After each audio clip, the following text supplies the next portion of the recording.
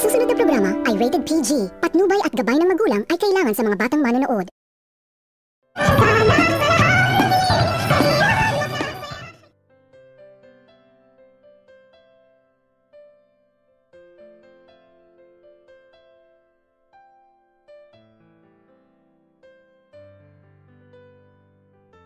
Pagkatapos nitong malaman ni Justin ang katotohanan na ang kanyang mami na itong si Giselle ay pinapaalis ito ni Morgana sa Apex Medical Hospital kung kaya't agad naman din itong tinawagan ni Justin ang kanyang daddy na itong si Eric at sinabi nito ang mga nangyayari sa kanyang mami sa kadahilanan na agad naman din itong sinabihan ni Eric ang kanyang anak na kailangan umano nitong makikipagsundo sa kanyang mami dahil kahit ano umanong mangyayari ay mami pa rin umano ito ni Justin kung kaya't agad naman din itong sinunod ni Justin ang mga sinasabi ng kanyang daddy at agad itong nakikipagbati sa kanyang mami sa kadilanan na agad naman din itong naisipan ni Giselle na kailangan umano nitong magpakumbaba dahil siya umano ang ina ni Justin at tanggapin umano nito ang pagkakamali sa kanyang anak. Basta wag na lamang umano nitong uulitin pa. Kung kaya't pinatawad na nito ni Giselle ang kanyang anak na itong si Justin at dito agad naman din itong nagsalita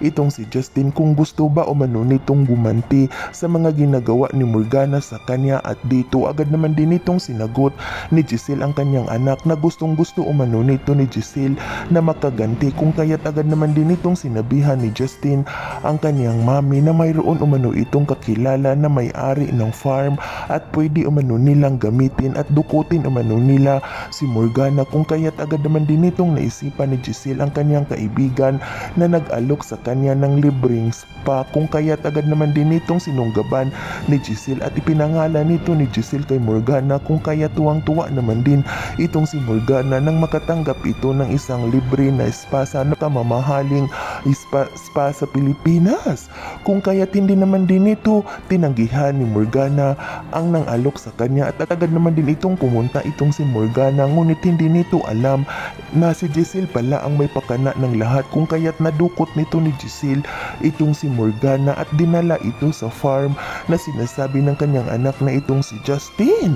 At dito, agad naman din itong ikinatuwa ni Justin ang mga sinasabi ng kanyang mami na nadukot na umano niya itong si Morgana at agad naman din itong nagsalita itong si Justin na makakaganti na rin umano sila kay Morgana. Yan ay ating aabangan sa susunod pa na pangyayari sa kaganapang ito ng abot kamay na pangarap. Huwag mong kalimutang isubscribe at i-hit ang notification bell ng aking channel